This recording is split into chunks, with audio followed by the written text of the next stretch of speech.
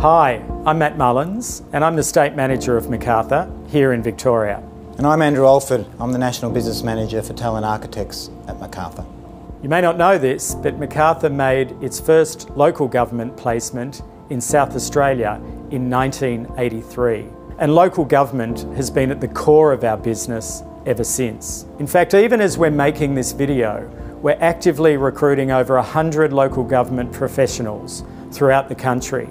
In Victoria alone, we're recruiting three CEOs. In far north Queensland, we've taken a brief for a CFO. We're actively recruiting a finance manager in Broken Hill. We're even looking for 15 traffic and parking officers here in Victoria, and that's just to name a few. The Talent Architects team has the expertise to respond to the ever-changing needs of local government across Australia. We work with councils nationally to help their people be the best that they can be. Some of the services that we provide are leadership development programs, team building programs. We conduct organisational reviews, we help with performance. And we also support staff with mentoring, coaching and outplacement services. And then of course there's our local government remuneration survey, which has become a benchmark for the sector across the country and a really important planning tool for councils.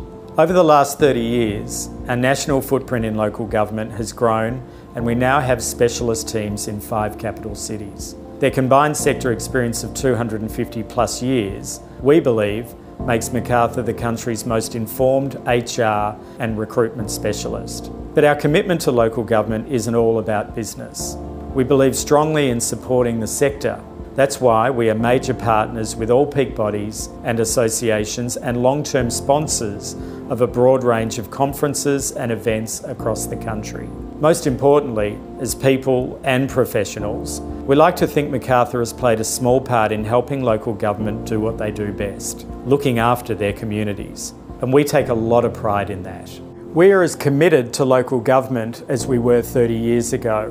We'll continue to invest in our resources and our people. And it's this commitment that will guarantee that McArthur is the leading sector expert 30 years from now.